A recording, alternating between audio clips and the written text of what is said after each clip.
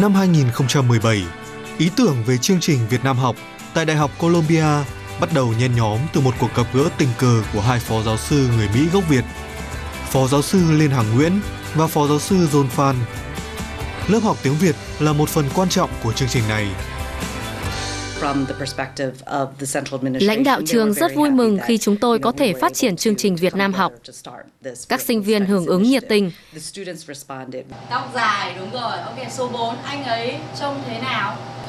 Chương trình học tiếng Việt ở Columbia là một bộ phận rất là quan trọng cho cái chương trình của, của chúng tôi để cho người Mỹ gốc Việt cũng như là quốc tịch khác mà đang học ở Columbia để học tiếng Việt.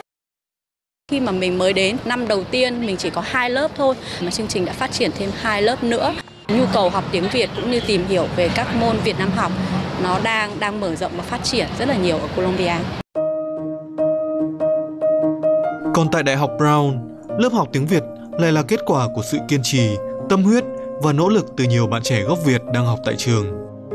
Có nhiều sinh viên người Mỹ nhưng mà gốc Việt á, đã bày tỏ sự quan tâm đến học tiếng Việt nên tụi em nghĩ ô tụi em cũng có thể làm được một cái lớp tiếng Việt ở Brown cho mỗi học sinh ở đây. We will try to make a story using all of the words that we have get.